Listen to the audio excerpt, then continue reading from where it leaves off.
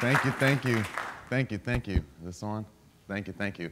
Uh, I appreciate it. A few things that I want to address up front is, uh, again, um, gratitude for Brian for putting me in this position.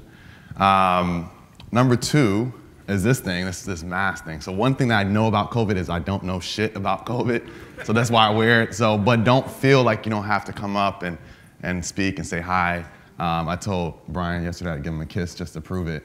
So just feel like, just don't come up kissing me. just Brian. Um, and then the, the last thing is that um, I don't know if anybody in here does this, and I'll ask that question, but if whenever you do one of those uh, introduction um, exercises where everybody goes around and says something about themselves, is there anybody in here that as soon as you finish, you say, damn, I should have said that? Is there anybody else like that?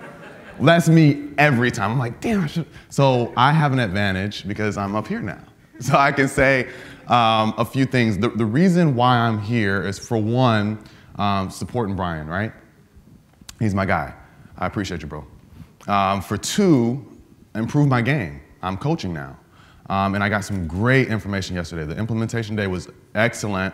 Um, I was only here for, for half of it because I had some closings but the stuff that Tom talked about, every time I hear him speak, he gives me something else. And the one thing that really stuck with me is you get your power from those tough conversations with students that aren't doing well. You get your strength from those conversations. That's your superpower. And then you can use that in the future. So that's one nugget that I got yesterday that just reminded me. I got a few students that won't follow the instructions, and I, I need to go to them and have more conversations, figure it out, um, and that will help me grow in coaching. So that was a great, great thing. So I'm here for that. Um, and then um, lastly, just networking, right? Networking and content. Content is king. Uh, I wanted to be able to do some podcasts. I want to, you know, interview some other folks. So if anybody here wants to do some more content, I'm your guy. I'd love to do some stuff with you. So that is my redo of this morning. I didn't have my coffee yet. And like I said, I'm always that guy. I'm like, damn, I should have said that. So, cool. How to utilize a meetup group to start coaching. I'm gonna jump right into it. This was me. I did not wanna be a guru. I didn't wanna be that guy. Um, I'm actually somewhat of an introvert. Um, I, I, do well in small groups. Um, and I just didn't want, like, I didn't wanna have to live my life in front of a camera. And what I'm learning from my mentor is that I don't necessarily have to. Um, I'm actually gonna change some things. I'm gonna focus on one channel, um, and for me, that'll most likely be podcasting. Um, and I'll still do some lives, but I don't have to live my life in front of a camera. I just didn't want to be a guru, and that's why I never wanted to be a coach. And then Brian just told you the story, but that is exactly what happened. I came to support him. I met him at the Orlando event for Wholesaling Inc. It didn't work out. He asked me, and I even gave him like five other people to contact in Atlanta to run that group. And I know Vanessa, I know you probably remember this because I was like, I don't think I want to do it. But I did it, and that was the best thing for me. That goes back to another principal foundation of my mentor's coaching is get uncomfortable being, get comfortable being uncomfortable. And so doing that has really helped. It's put me in this room, it's put me in other rooms. If I did not make that choice to take on that meetup group, wouldn't be here with you guys today. So I'm super, super happy that I did it. I sucked it up uh, and got comfortable being uncomfortable. Uh, and how I got started, you know, REI Live. This, this was my entry into coaching. Um, I initially was thinking like, oh yeah, I'll just do some deals. People will bring me stuff to the meetup groups, and they brought me a bunch of junk that I didn't want to work on. And so I started thinking, all right, what else should I do? And, and eventually, we started coaching. So in August of 2019, I started coaching. So I, I took it over March 2019. By August, I started coaching, and I started with uh, an open house um, that we invited some people um, that, you know, I was in the front of the room. I had great speakers. I had Tom speak. I had uh, Eddie Speed speak. I had um, Tag speak, right? Um, I've had, who else? There's a bunch, uh, well, Brent Daniels, I think, was a speaker on this one. So we filled the room, 160 people. And so it was just an easy transition into, you know, hey guys, if you want to learn how to do deals like I've done, come out and, and learn um, a little bit about the coaching program. And so it was a really, really good transition. Um, power of the meetup groups. Um, the very first one that I actually took over uh, was the one with um, Joe McCall. Joe McCall spoke. That was my first time meeting him in person. Super happy, super nervous at the same time. Um, but Brian was there to hold my hand and, and, get me through that. We filled the room. We filled the room a lot of times. And, um, you know, you can pivot. You can do different things. You can, you know, turn that, that meetup group, um, you know, into a, another, you know, smaller networking group. Or um, there's just, there's so much you can do. We're building our buyers list. We're building our email list. Um, we're, we're getting people that are coming to the room. You're, you're the authority in the front of the room. And so they naturally want to learn from you. So it was a very easy transition, and this was the power of having the meetup group, and it just gave me an easy launching point for a coaching program. The challenges, you gotta run it like a business. Like you have, it's a real business. Like if I didn't do my marketing, if I didn't put the ads out in different areas or tell people about the next event, people weren't gonna show up. Um, there was upfront costs. I don't know if, if, if, if I look like it, but I, I, like to look good, feel good. And so I didn't want my meetup group at the back of a restaurant bar. I chose the Westin. So at, before I entered the room, I was $1,000 was coming out of my pocket to host my event there. And I wanted to look nice and feel nice and have a nice atmosphere. Great speaking equipment, microphones, etc. Like it, it, takes money um, to, to host these, and, and you can do them um, you know, at a lower cost. That's just how I wanted to do things. Um, and so it's funny enough that, um, you know, when, when COVID started and we started going virtual, uh, I was like, damn, I can't meet people in person. But I'm putting that thousand dollars back in my pocket. So that was nice. It's virtual now. I don't have to pay the Westin a thousand dollars uh, every time uh, I, I entered the room. So that that's been that's been cool. Booking speakers, continuing to make sure that we have um, uh, engaging, um, interesting people to come speak um, that, that's a challenge, right? I have to make sure that um, I'm reaching out to them uh, far enough in advance and I'm getting people there. And, and um, there are some challenges. It's not all gumdrops and lollipops hosting events, but there's so much power in it, guys. Why should you start one? If you don't have one already, um, it's an ease. It's, a, it's an ease of starting. And, and by me starting with the REI Live brand, it was basically I had a meetup out of a box. I just showed up. Brian said, do this, do that, do this, get this equipment, that equipment, that equipment, and host. And, and I'm gonna be there with you in the beginning. So it was great. It was, it was very easy transition for me to just start the meetup group and then eventually start the coaching. Uh, it was natural entry. I was already the authority in the local market, networking and marketing. Um, uh, it's, uh, it, it's super helpful because every month we're building our list. And so if I have another product or a mini course or something to sell, like I, every month I know that I'm building that list because I'm bringing engaging speakers. Yes, I did a, a REI Live Atlanta from last night from this hotel uh, because I usually do it third Thursday. So I had Zach Booth of Driving for Dollars Mastery speak um, at my for my virtual REI Live Atlanta last night. So that was great, um, and I'm able to do that on the fly, uh, especially because everything is virtual now. So building the email uh, list. Testimonials from the front of the room. I think that's one of the biggest things. So as I help students do deals, I can every month say, hey, you know, come to the front of the room, talk about your experience. And now I have a room full of people that I've now seen and heard from somebody that they can touch and feel and look at and ask questions that has worked with me to do deals and is accomplishing their goals. So that is the biggest, biggest, that was one of the biggest parts. Um, you know, and you can do the, the selfie, like um, go tell us or so tell us, um, you know, that type of stuff for your testimonial videos. But testimonial videos or testimonials live from the front of the room at an event are super, super powerful. Uh, coaching in the beginning. So I want to get into this. I want to I want to roll into kind of how it how the journey went for me. Um, I did everything. I have a lot of friends. I have a lot of friends that are wholesalers not that many high level coaching friends. Um, I have mentors, but as I talked to some of my buddies that were kind of getting going, I was, you know, I was like uh, hearing different things like, oh, you should do a subscription model. Started off, it was $500 a month. By month two, the cars were declining. So that didn't work. And so we had to pivot. I did high ticket, then I couldn't get as many people in. Then I went to low ticket. Um, then I have a buddy that's doing very well uh, in webinars, six figures a month on a webinar, and that's amazing. I was like, that's time to do a webinar. Uh, and I started that, but then I stopped getting as many people coming to the webinar. So I've, I've actually transitioned. I'm going back to high ticket, but when I say high ticket, it's kind of mid ticket, it's like 5K. I, I haven't really pinned, the price down, but it's gonna be around that with the ongoing subscription for um, ongoing support. Um, and then affiliate, affiliate money. So um, I do uh, do some affiliate stuff with um, with Deal Machine. They're great. David Lecko is super super helpful. Those guys out out there.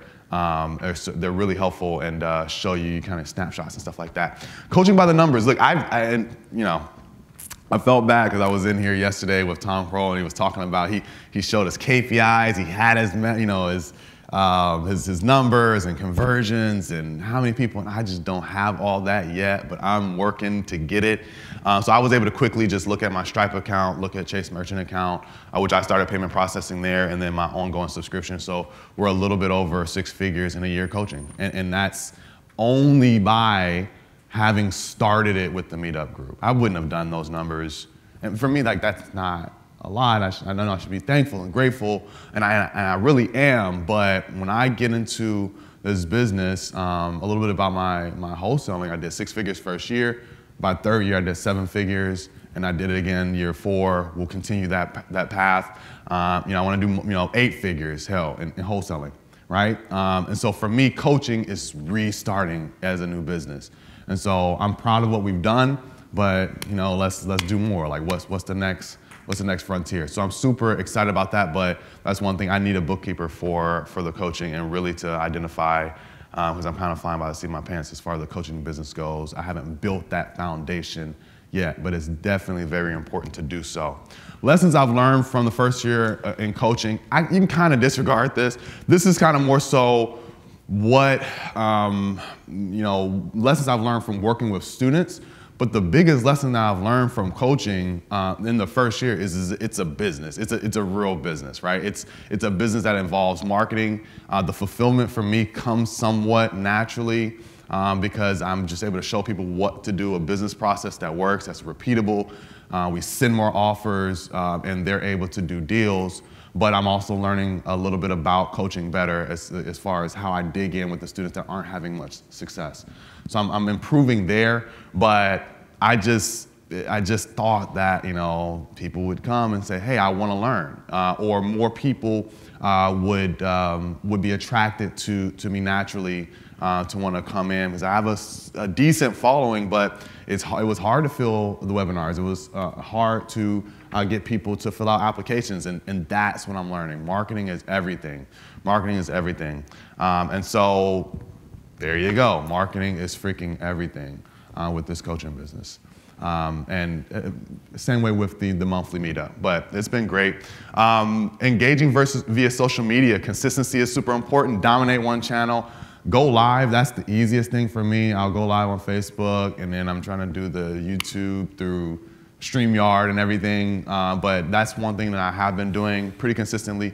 My focus going forward will be podcasting. Right now, I'm working with Tom uh, Schwab from Interview Valet to be on other people's podcasts. If I can do it for free, you know, I might, I might want to get on some more podcasts um, as well and, and, really focus on that and having um, that be a primary channel and then continue to um, potentially have my own. Uh, right, so that is that's what I'm trying to focus on. But look, the most important metric, and we're getting through this fast, guys, is the success of your students. Tom said it yesterday. Um, he's reiterated that for me. Brian said it in the beginning. You're trying to do all this stuff and funnels and hacking and sites and all this stuff. He said, bro, you need to learn how to be a coach first. You need to get your student success first. Um, and then Tom followed that up and reminded me again, focus on that. I'm super excited. One of my favorite students, one of my most successful students, um, Chris Campbell, um, he uh, is now the owner of Keyglee Atlanta. Uh, so he's partnered up with those guys at Keyglee, and he said you can actually maybe see it that he 110% wouldn't be able to have bought that franchise if it was not for the coaching that he got from me. Um, he was he was working with some other uh, coaches, other programs that we've both been a part of. But it was he to get off that roller coaster and get to a point where he was consistently having 50k months and able to purchase um, that that franchise was from the work that I did with him to really focus on what the most important metric I think for his business should have been was how many offers did you get out last week? And once he got that up to 20, 30 offers, once he you know, stopped hand dialing and started focusing on the dialer, stopped going to every appointment and leading first with his offers, he started to have some consistency in his business. So I'm super, super excited about that. And I'm really trying to focus in on how I can work with the students more that are struggling and get them to where they need to be because that is the most important metric for me is their success. Um, and this is it. This is, um, this is the first iteration. I have not released this yet because I want them to slim it down. I think it's a little bulky. But the Send More Offers coaching program, you may haven't heard of it much yet, but you will in the future. This is my methodology. I want my students to keep their leads in the dialer, stop sending them to a CRM. I want them to power dial. Um, I've given them a script. I want them to lead first with their offer and follow up until it gets signed. That's my coaching program. You know, kind of in a nutshell, I'm hoping my, I'm helping my students uh, get their first deal without a seller appointment in a repeatable way by sending more offers. That is what I coach. That's what I teach. That is my presentation. If you guys want to reach me, sendmoreoffers.com. Um, there's some profile links at the bottom. I would love to chat with you guys. Uh, this has been great. Questions for Brandon? Questions about meetup groups for Brandon? Go ahead. So I've had the pleasure of meeting you and spending a little bit of time with you guys. You guys are killing it. Thank you, Um, thank you. I do a meetup here as well. Uh, my question is, at what point, and you may have answered this, I may have missed it, but at what point did you make the decision to commit to coaching? Yeah, great question. Uh, I was on the I was on that fence for a bit, um, but I want to say we were having conversations over the summer. So I, I took over REI Live the March event, so March, April, May, June, and July. I was starting to have those conversations because I wasn't. I was- I was telling people to bring me deals or like, hey, we can partner, we can JV, I'll help you get through these deals and it just wasn't giving me anything. It wasn't it wasn't allowing me opportunities to work with with some of the uh, folks that were coming to the events. So over that summer, I started having conversations about uh, you know the ballroom, um, high ticket uh, coaching, um, and I was going to partner with somebody uh, to do that. Um, and then I think by August, we went on and said, hey, somebody had the idea of having a, uh, a coaching open house, inviting people, and then just you know presenting an opportunity. Um, and it was a low ticket subscription, it was you know $500. Uh, but it was it was it took what six months for me to fully fully commit. Um, but then I, at that point, I was trying to figure out exactly how I wanted to approach it, what the model was going to be. Um, but I learned very early by having the meetup group that, you know, if you're thinking that you're just going to, you know, do a bunch of JV deals with all the people that are coming into your events, it's, it's not really to happen. As you get a bunch of junk and then you find yourself trying to chase down those leads and you're wasting time. Well, yeah, so uh, it, it, it made sense for me to start to do some coaching, and, and the one to many model is what I'm doing now, and um, you know, doing weekly calls and supports and, and stuff. So, great question. Thank you. Any other questions about hosting a meetup and leveraging that to coach? Go I just have a general question about your coaching rather Yes. than the meetup. Did you, did your existing business suffer at all as you were building the new coaching business? Um, I know you got a lot of benefit because you were able to do more deals through other people and students and so forth. Did that affect your core business at all? Yeah, um, not too much, but I know it did. I, I know it did. It affected my focus. Um, there were things and metrics, or yeah, there were trends that I probably could have caught sooner um, as I've been building, you know, continuing to build my team and my and my wholesaling business. But uh, I, I haven't talked to sellers in a few years now, so um, the acquisitions is, is still been humming along. I have a strong assistant, and so the, the team is pretty much self-sufficient. But I'm sure that there are opportunities that I missed um, by you know spending time uh, with the meetup group and, and, and coaching um, that I could have caught on to. Um, there was something there, like for instance, I had an assistant that I could have had I had them sending text messages, and I was trying to figure out how we can get people on the phone faster.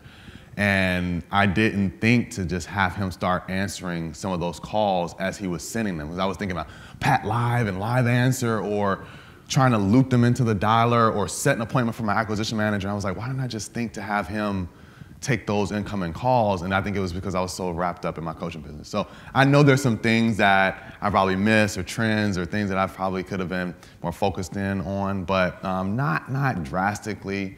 Um, but I know there's effect because it's a, bus- it's a business.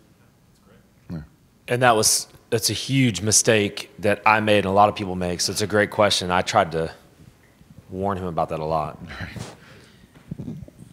Uh, What was the most effective thing you did to build the group uh, in terms of the meetup? And, you know, was it Facebook, Instagram? What was it? Yeah, the, the speakers. The speakers. If I got a good speaker that was, you know, super engaging, like people were gonna come. Um, but consistent marketing on different platforms is, is super important. Um, Facebook groups, meetup.com, bigger pockets, you know, your own social presence is great.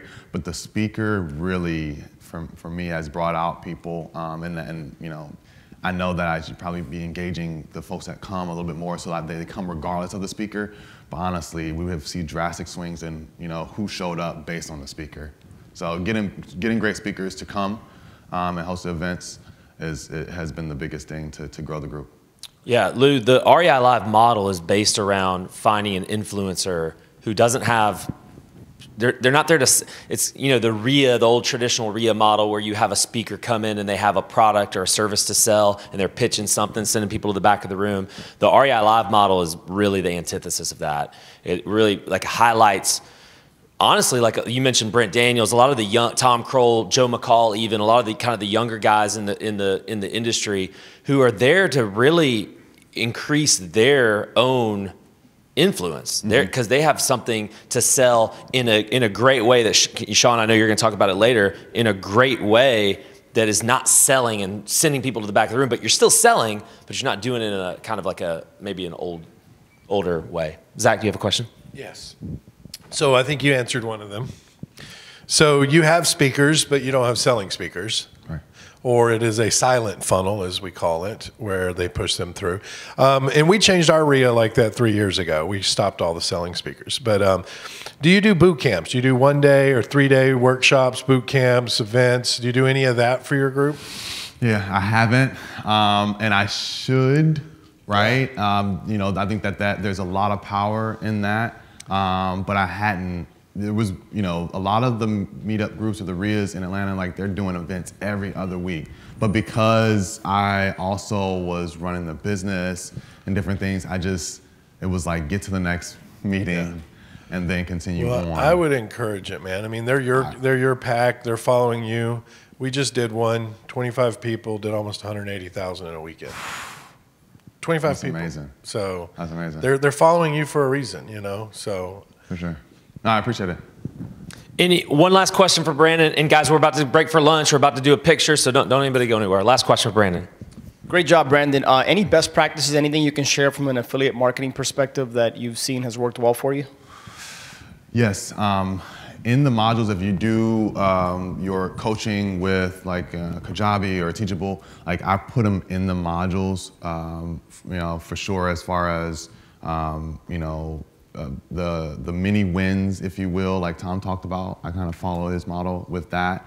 Um, I try to do um, videos with the owners of those companies or a demo, um, but. You know, put it in your bio, et cetera. But I think the biggest thing was just making sure that I had it in the actual modules because prior to that, you know, I would talk and I would show them, you know, how to use these things, but I didn't have hard links within the modules. Once I added that, I did start to see a lift uh, in the um, affiliate subscriptions. Um, a, a bit, a bit. I should do more of it. I should do some more. I'm learning. I'm learning, bro. Brandon, thank you so much. Let's give him a hand. Thank you, guys.